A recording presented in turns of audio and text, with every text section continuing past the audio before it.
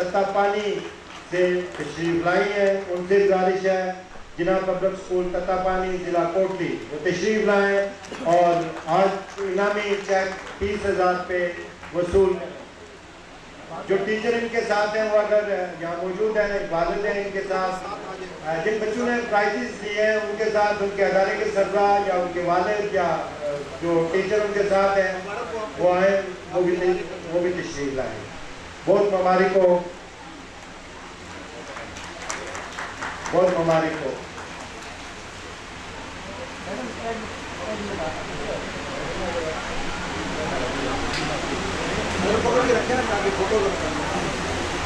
दूसरी पोजीशन हासिल की।